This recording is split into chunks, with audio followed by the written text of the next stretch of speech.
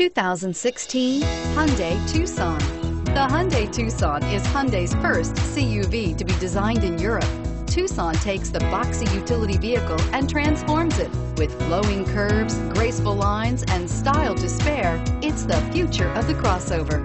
This vehicle has less than 2,000 miles. Here are some of this vehicle's great options. Traction control, backup camera, power passenger seat, navigation system, Bluetooth, dual airbags, panoramic sunroof, power steering, air conditioning, front alloy wheels. This isn't just a vehicle, it's an experience.